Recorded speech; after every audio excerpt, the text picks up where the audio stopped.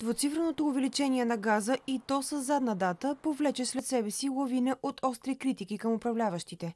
Те дойдоха първо от Дундуков 2.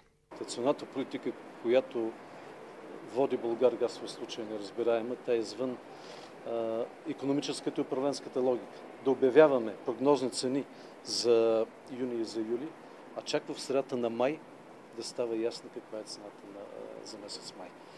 А, бизнесът, потребителите искат да има предвидимост.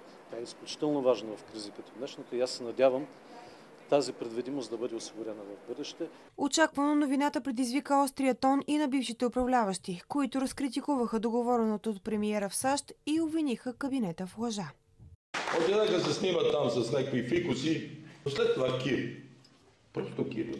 Казва, че цената ще бъде по-ефтина за гъста, която купуваме от сегашната пазарна цена на Газпром. Това го казва около обяд ли там някъде.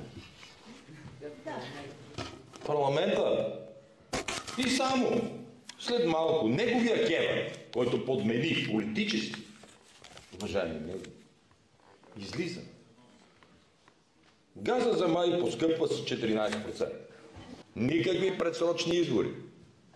Докато, нали, знаете вица, това Канада ли вика, плувай да седне, плувай, ще стигне.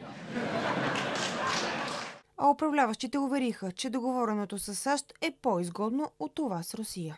По формула се, се изчислява цената, т.е. тя не е фиксирана в момента, да, да кажем, но в момента формулата, така както се изчислява, е по-ниска от доставките на Газпром. Според енергийния заместник министр, Русия ще продължи да спира газа и за другите европейски държави, а газовата ни връзка с Гърция ще бъде изпълнена в срок.